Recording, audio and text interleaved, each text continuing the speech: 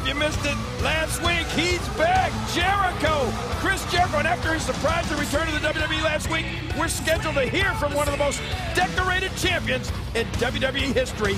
That's next. Ladies and gentlemen, please welcome the only man to ever defeat Stone Cold Steve Austin and The Rock in the same night to become the first ever undisputed WWE champion, Chris Jericho.